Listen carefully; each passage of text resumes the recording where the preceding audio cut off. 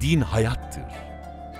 Hayatın her alanında, İslam ve insanın kesiştiği her noktada merak ettiğiniz ve sorguladığınız meseleleri Kur'an ve sünnet çerçevesinde gündemimize alıyoruz.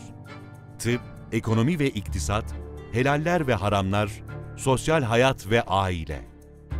Tarım ürünleri, öşri arazi, ticari mallar, zekat. Tarım ürünlerinin zekatı nasıl hesaplanır? Ülkemizde bulunan araziler öşri arazi midir? Ticaret malları zekata tabi midir?